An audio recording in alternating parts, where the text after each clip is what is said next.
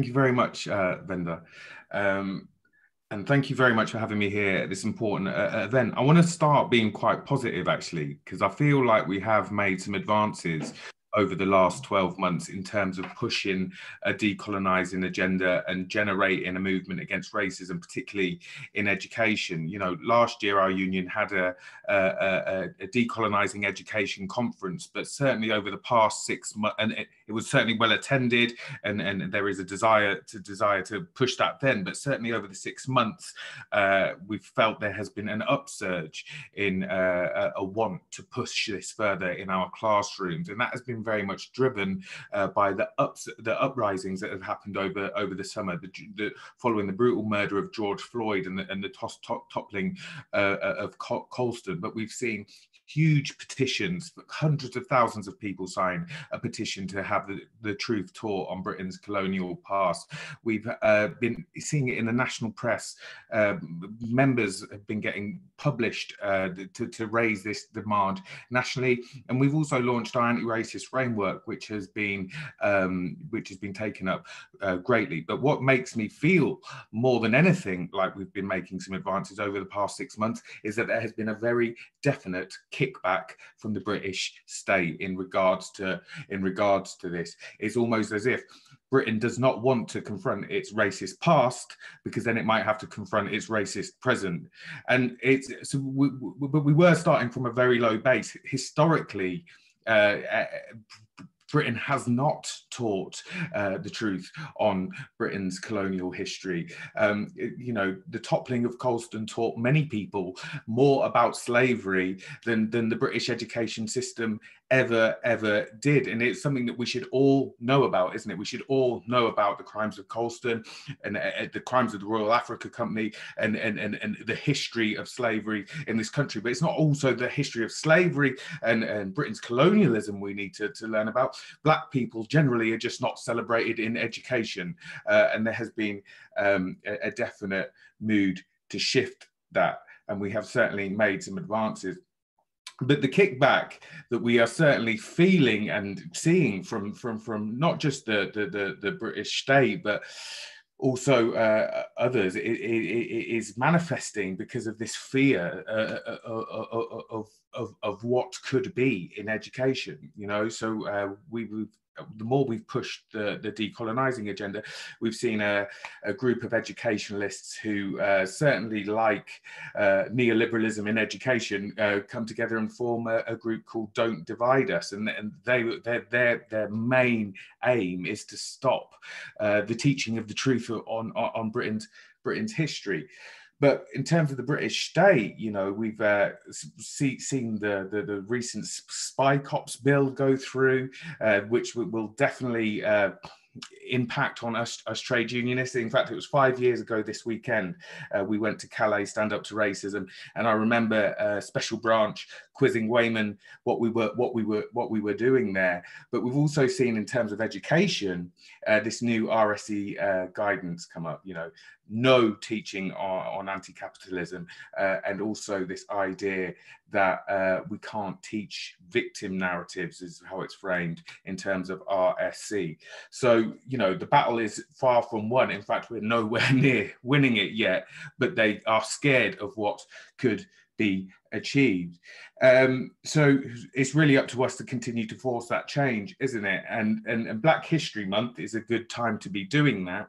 Uh, and we've seen lots of uh, schools certainly celebrate it uh, effectively. But what we really need to be doing is shifting away from this idea that we just teach about Black history in the month of October and turn it into something that we teach all year round.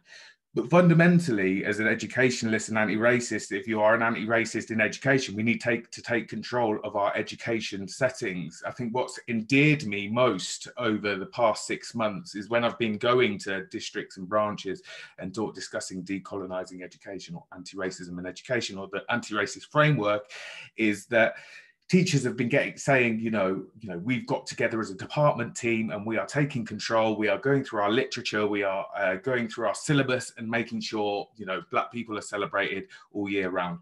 I you know was in tower hamlets and a teacher there was telling me how they uh, before they're teaching algebra they're going to do a, a, a, period of work on how algebra comes from arabia. It's like got arabic roots. And just to shift this sort of het- like eurocentric uh, norm that exists in education.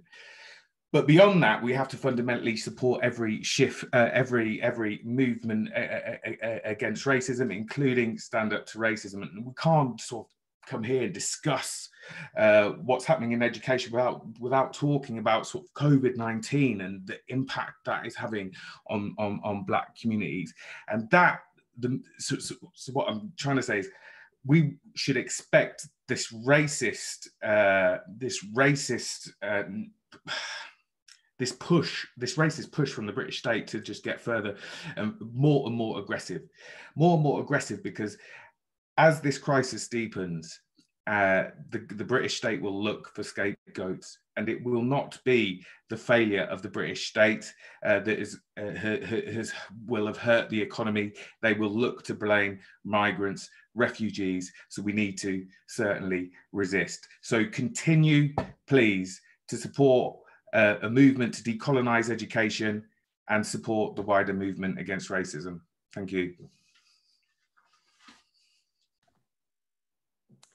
Thank you very much, Daniel. Um, absolutely. I think you're absolutely right. There is so much to be excited about, especially with what's happening in schools. I think uh, teachers and educators are really quite, um, you know, um, excited and rejuvenated uh, to go back into schools. And Black History Month um, this year seems very, very different to me, um, being an educator myself.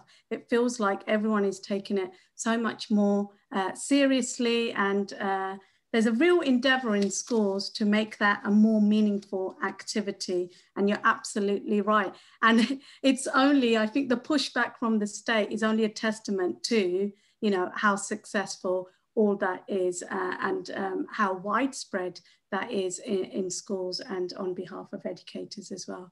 Thank you for starting us off, uh, Daniel. We are going to move on to our uh, second speaker, uh, Victoria Showunmi. Uh, Victoria is a UCU um, NEC and Black Members Committee Chair. Um, when you're ready, Victoria, you have six minutes.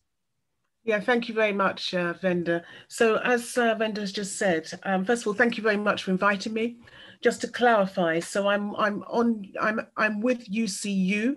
I'm an academic at UCL. Now with UCU, I stand on the NEC, and, I, and I'm also I chair the Black Member Standing Committee, and I and I'm vice chair of the Higher Education Committee, along with being chair of the Equalities Committee. So just so you can see that there's all different ones there. Um, as I said, I'm based at UCL and uh, there's a lot of work which has been done and we've taken the lead on eugenics and what ha what's happening with eugenics and how that in itself is showing its ugly self regarding um, the, the, the, fight against racism. So what do I want to talk about? I mean, I'm, I'm a strong feminist, so my work is really around gender and the voices of black women and uh, black girls and what black girls in school and, and black women in the university and, and out in the workplace. I've done some work with um, NEU um, I did the mapping of um, the motions, the motions which get presented and passed through the uh, the Black Teachers Conference and what happens there. And I did a mapping and a report on that, which I'm sure that um, some of the people around the table here would have seen.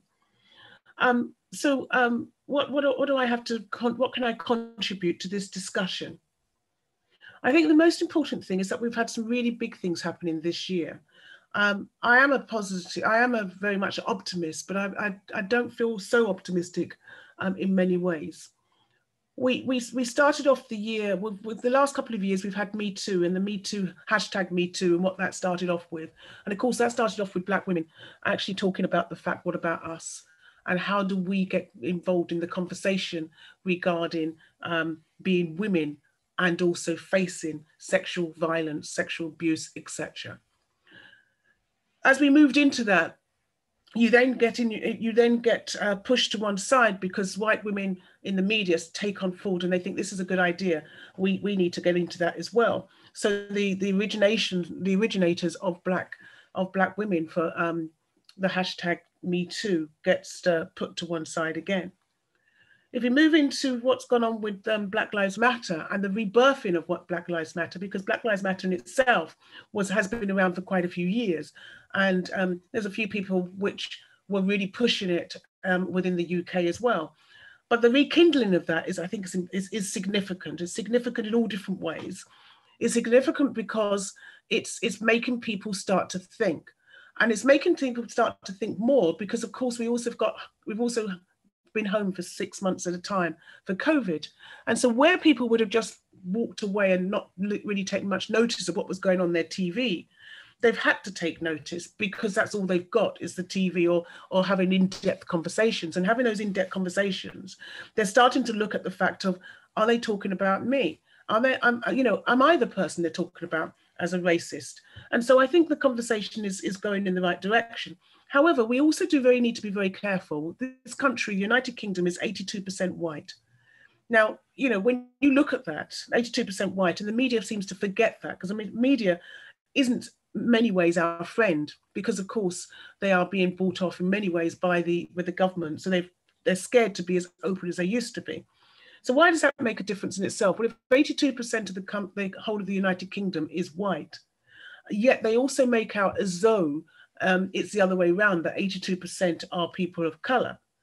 Um, it the, the conversation becomes complicated because unless you understand what's happening you would think that the people which are really are marginalized in the conversation are the ones which are benefiting. And of course they're not. As Michael, malcolm x always says you have to be careful because the oppressor will make sure that you are the ones which are oppressing. And of course we're not the ones who are oppressing. And i think that's important as well so we all need, also need to be careful about the allies and when we use the word oh i want you to i want i want to have uh, allies to support me. There's a very clear difference of having an ally and and white saviors. Many people are actually white saviors, saviors, and they see being an ally as part of their promotion, part of their promotion in the university or part of their promotion in school. They think it's the right thing to do to get ahead.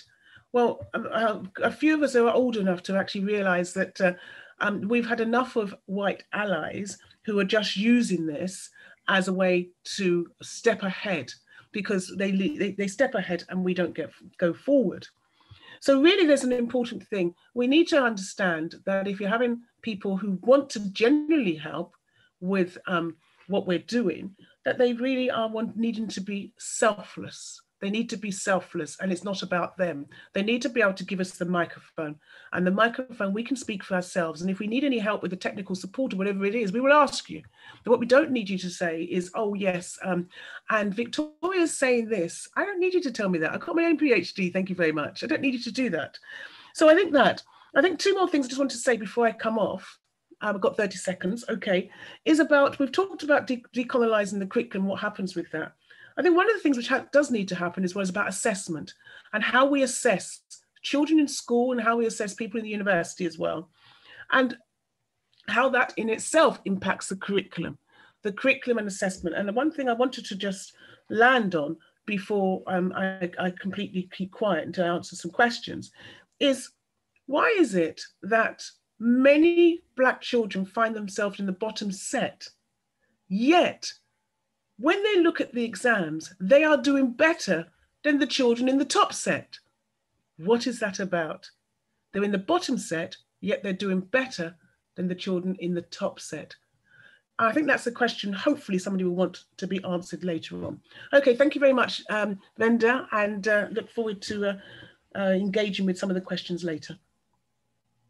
Excellent. Thank you so much, uh, Victoria. Some really, really important points raised there. And I, um, I, I, also hope that those points will be picked up in the discussion later on as well. It'd be great to hear uh, a bit more on those things.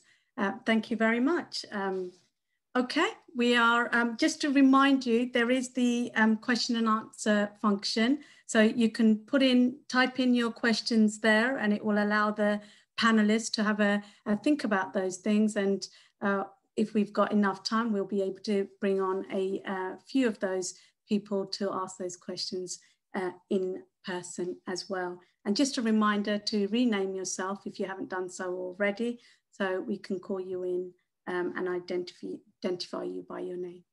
Okay, um, we've got currently um, over 110 people at this workshop, which is uh, fantastic. So I'm looking forward to a really uh, a dynamic discussion later on. Before that, we've got our third speaker, uh, who is Khadija Mohammed. Uh, Khadija is from the Educational Institute of Scotland.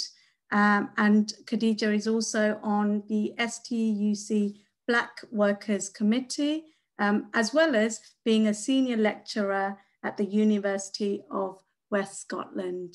When you're ready, Khadija.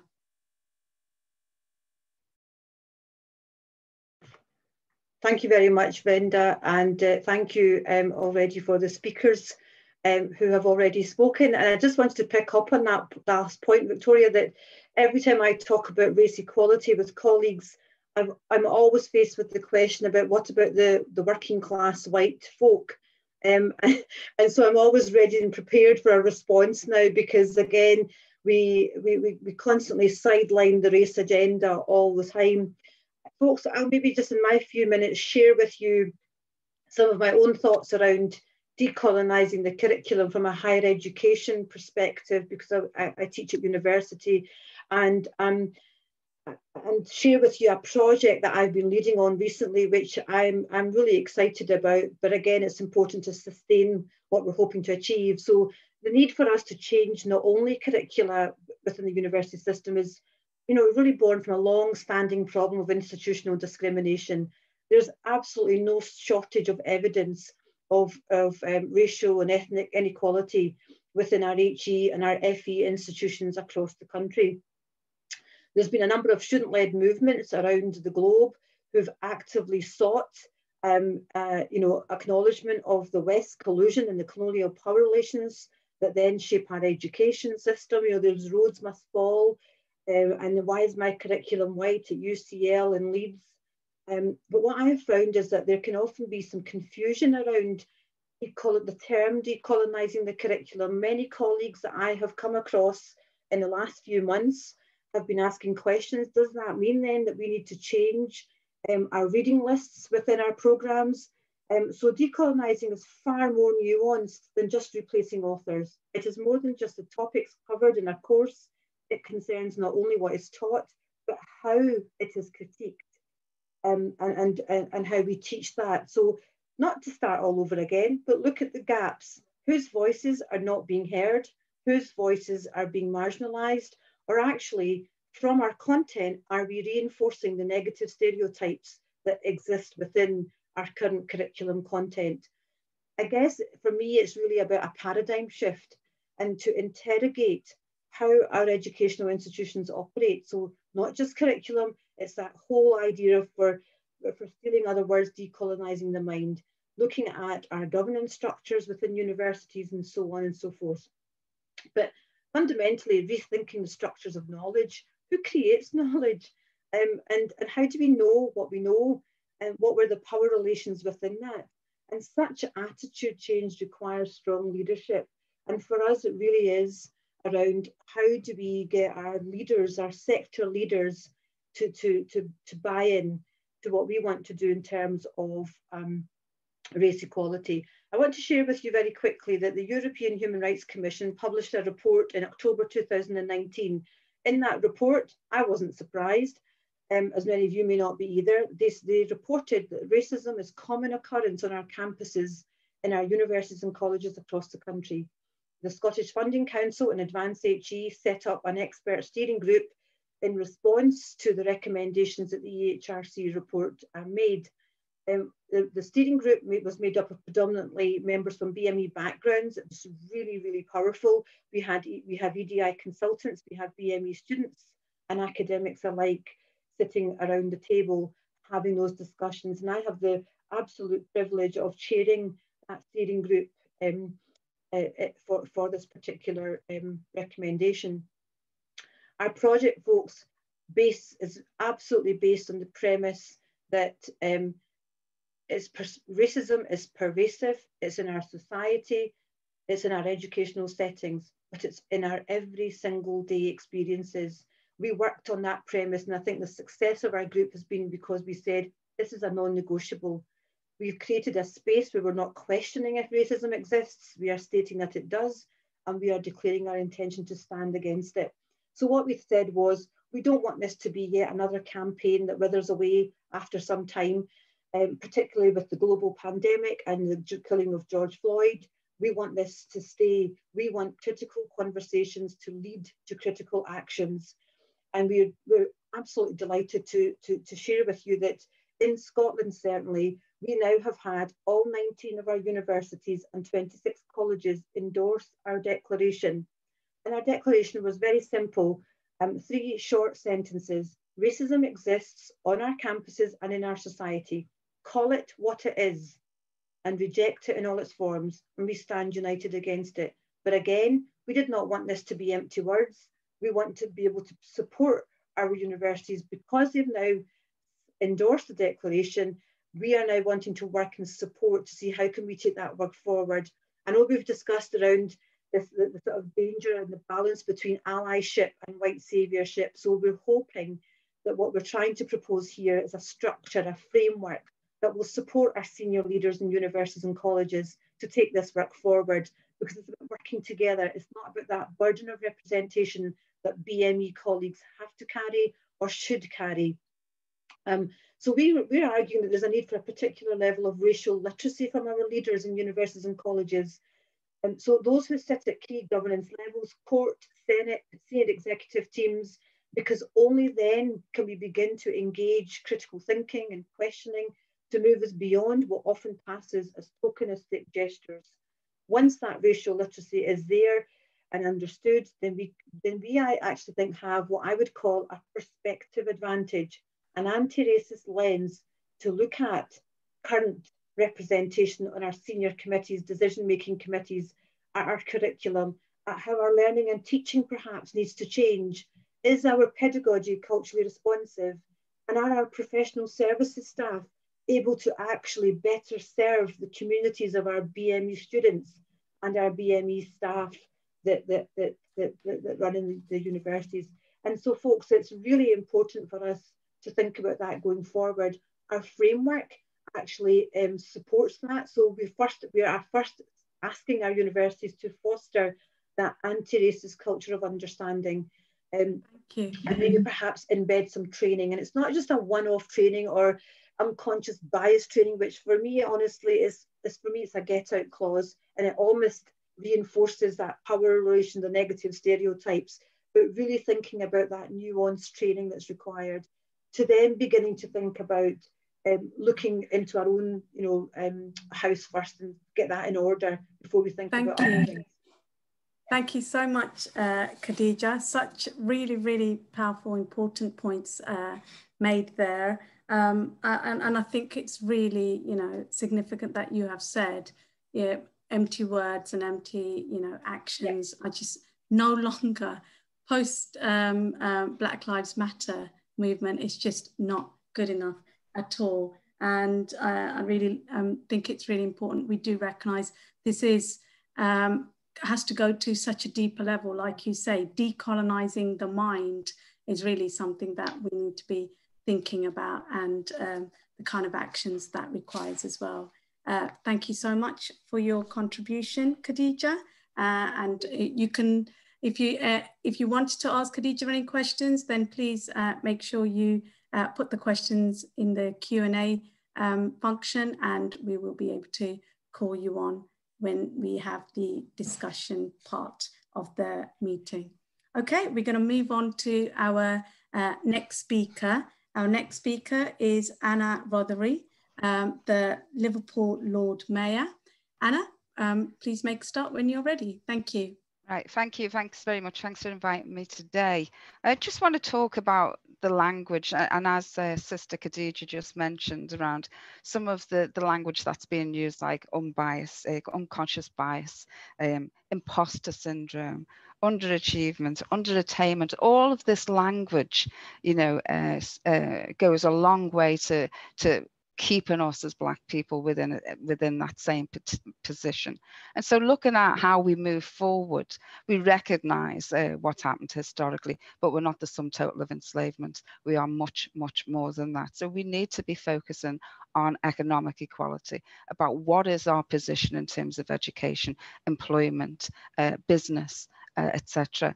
And so also, what are we doing in terms of moving our agenda forward? And I say our agenda forward because with all of the allies that you may have, and, uh, and, and, and people have, have stated previously that sometimes this is utilized by people who want to sort of hijack uh, our cause and our, and our fight. And so how do we move it forward in terms of making spaces within, uh, you know, academia, within our uh, educational systems, within our workplace and within our businesses for people to come forward.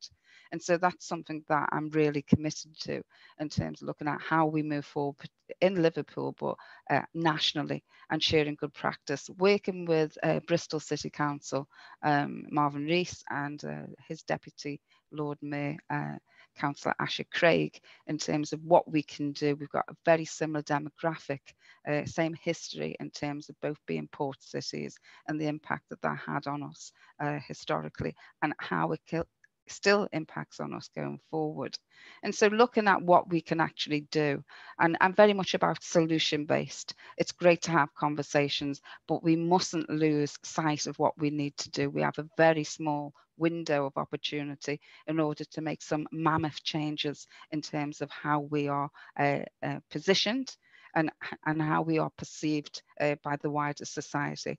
So looking at working with our educators, looking at working with our businesses, talking to them, having the very difficult conversations uh, that we need to have in order to um, make those massive changes and also holding them to account um, I'm, I'm, about to do an event uh, on the 29th of this month called uh, Step Up, Step Forward, which is working with our businesses and our educators across the city and asking them to pledge, you know, what are they actually going to do to make a difference going forward? Um, I've had the um, pleasure of working with Hope University and we've put together two programs, a Black Social Workers program and a Black Teachers program we recognize that there are lack uh, there is a lack of black teachers and black social workers. And we also recognize that without people in these pivotal positions then how can we have our youth looking towards strong black role models and looking at their aspirations and where they fit within society? So that's something that needs to be remedied very very quickly. Um, in terms of looking at employment opportunities, you know, I gave up arguing the moral case many, many years ago when people's eyes started to glaze over at the mere conversation around equality. And so now looking at a very robust business model for why Black people should be part and parcel, front and centre of our corporations, our businesses, and also in terms of being a strong customer base that has just been demonstrated with the Black Pound Day when we looked at how much money goes into the local and national economy from Black people. So really looking at uh, how we bring about that change uh, and how we do it in a constructive and accountable manner so that we can hold people to account and hold them to task and measure the impact. We all know that we are not underachievers. We are people who have an aptitude to overachieve given the right set of circumstances and environment. And now we need to be able to prove that and show that and have the opportunity in order to do so. So thank you very much.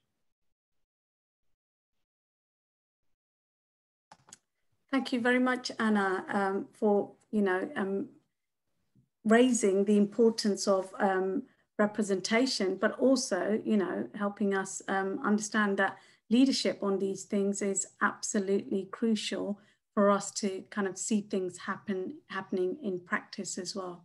So thank you so much, um, Anna. Um, please continue to submit your questions. The panelists can um, see the questions and so they can um, have a think about that so we can have a more structured discussion.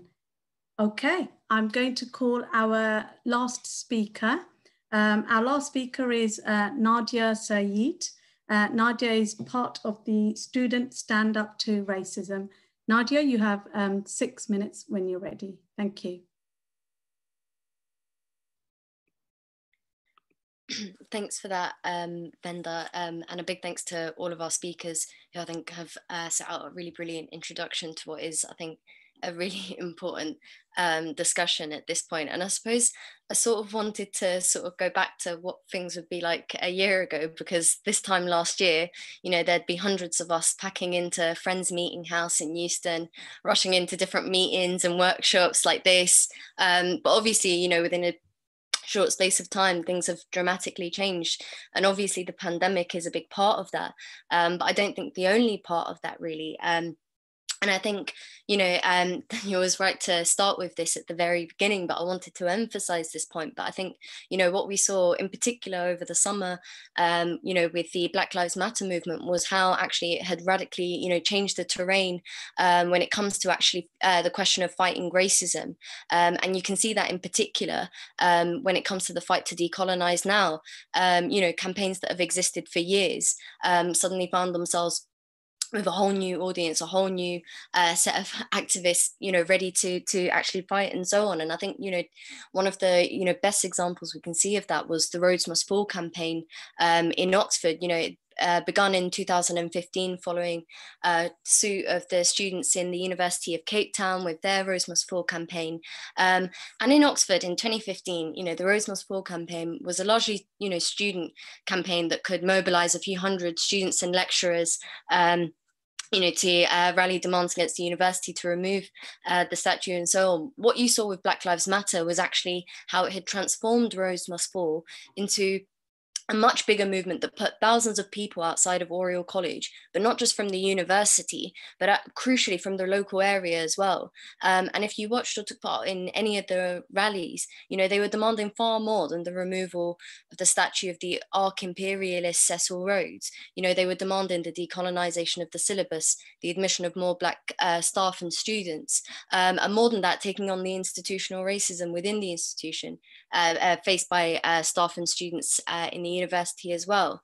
Um, and I think really, you know, going back to the bigger picture, you know, what we've seen is how much Black Lives Matter has really brought into the mainstream um, and made it more mainstream to challenge, you know, and, and question the legacy of colonialism um, and empire by exposing the link that they have with the entrenched racism we see and experience in society today, you know, whether that's the institutional racism in education or employment um, or the institutional racism that murdered George Floyd um, on the 25th of um, May. And, you know, it's about so much more um, than the statues. And anyone who thinks that um, obviously hadn't taken part um, in the marches and actions that are taken part uh, up and down the country um, over that summer because for a whole generation of people you know radicalized by a whole number of issues in society you know racism is the key fault line in that society. Um, and the statues and the symbols that celebrate colonialists and slave traders um, are only a small part of the discussion really um, and not really the totality at all. Um, the reality is is that people are just sick to death um, of an education that's not just racist in what they uh, teach us, um, but racist in how they can treat us as well, whether it's the issues around exclusion rates, the black attainment gap, um, or what have you. Um, lots of things as well that our uh, fantastic uh, speakers have highlighted too. Um, but more than that, I think people have had enough um, of the racist society that our education system functions in. Um, and that's what I think made Black Lives Matter so radical um, this summer. Um, as Victoria said, Black Lives Matter didn't just uh, exist this summer. Black Lives Matter has been around for a long time, but there was something uh, that uh, was particularly radical about uh, and bigger about Black Lives Matter um, this time around. And I think all of those things have fed into that. Um, now, I think obviously the movement doesn't really exist on the same scale that it had. But like I said, I think it's radically changed the terrain um, when it comes to fighting racism and has radicalized a whole generation of people. Um, and I think, you know, I mean, just thinking about the impact it's had, you know, I remember going on completely unrelated some of the uh, demonstrations after the school students uh, exam results fiasco. And you know when you talk to uh, any of those students or heard uh, some of the this is the A level results fiasco, um, or heard uh, any of the speeches and rallies outside the Department of Education. So many people mentioned how actually uh, Black Lives Matter was a movement that they'd taken part in. Um, you know, been been inspired by, um, and so on. And I think really, you know, actually our job is uh, to draw you know that anger and radicalization in society um, into a mass movement that can actually win fundamental changes um, in the fight against racism. And i think you know a big uh, thing that's important to that is getting organized um, you know whether that's in our schools uh, or campuses or in our workplaces. Um, we've had some of the you know excellent work that's been happening um, in the National Education Union, in the uh, University and Colleges Union, the Education Institute of Scotland. Um, you know, if you're a student, I suppose this is what I can weigh in. If you're a student um, at a university or a college, you know, can you organise a decolonise meeting for Black History Month? We've got one more week left. You know, can you raise demands um, on your schools uh, or universities management about improving their curriculum or, or the course or what have you? You know, so many universities and institutions seen the one in I think so many universities and institutions were very keen, as uh, speakers have pointed out, to say that they're pro Black Lives Matter or you know aware or or have you know anti-racism or have you some uh, what in their ethos or what or whatever.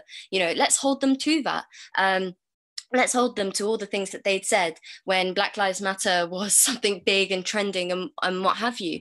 Um, but more than that, I think, you know, whatever we're doing to decolonize education, it has to be linked to a wider struggle against racism in society. You know, Boris Johnson and the Tories have headed us towards, you know, a second wave of the pandemic. And for what? You know, forcing business as usual and putting profit before people hasn't done anything to stop you know the economic uh, crisis that we're driving towards anyway. Um, and we're already beginning to see uh, you know mass unemployment um, and that's going to continue with more people losing their jobs um, their homes and so on. And we know that racism will put black people on the sharp end of that crisis both the economic um, and the pandemic but more than that, um, as had uh, been mentioned uh, uh, earlier as well, you know, Johnson and the Tories' response to that will be to deflect the anger in society away from themselves, who are really to blame, um, by ramping up the racism, finding scapegoats, um, and so on.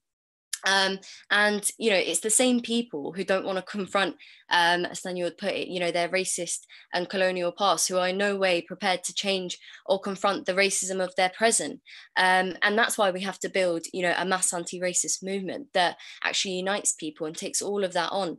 Um, and if you agree with that project then i think you know you need to we want you to join stand up to racism um, and be part of that fight back that fuses you know the energy and vitality that we saw with black lives matter with the wider anger against racism and uh, inequality in society. Um, and i'll leave it at that. Thank you very much nadia. Thank you for uh, tying all of that up with some suggestions about actions we can take to come together as a uh, group of people, it's a group of very big people, really, to enact uh, really important and meaningful changes as well. Thank you very much, Nadia. Okay, we're going to move on to the uh, discussion uh, part of the meeting. Um, and I'm going to call on um, three of the attendees to um, be moved to panelists so they can ask their questions and the panelists will have a chance to respond.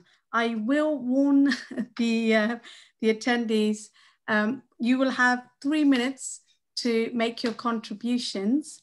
And after the three minutes, you will be automatically cut off. And this is just to ensure that we get as many contributions from the floor as possible. So I do apologize in advance and ask that you keep your questions and contributions as uh, concise as possible. Ask um, um, we're going to have contributions from Pauline Rutter, Caroline Riley, and Sasha Simic first. Hello, did you did you want me to ask some questions first? Is that okay? Yes, please, Pauline. Great, thank you. So um, I was thinking about uh, what Victoria was saying uh, initially uh, in, in the discussion in, in a presentation and uh, asking about what networks uh, can educationists and anti-racists use uh, or, or, or join to help withstand the pushback against taking control of the curriculum. And one of the things I'm thinking about, even organizations like um, the higher education uh, um, organizations that stand against uh, racism, that sometimes they feel quite exclusive in themselves and uh, the way that people can become involved or become connected to them feels uh, quite difficult especially because within higher education and that's my area as a as an associate researcher uh, but also as a qualified teacher that um, when your time is very pressured when your uh, students of color are more likely to seek you out as someone to support them when your uh, your colleagues are not always as supportive as they think they are being and when perhaps your senior management doesn't have a lot of time to support whether it's your research areas that may have some race element to them or whether it's in stuff you're writing for uh, a decolonizing curriculum um, journal within the university which is very much trying to address what's going on within schools and, and the activities that teachers are trying to take proactively. So uh, that idea about what networks exist and, and do they exist and are they, are they really available uh, and promoted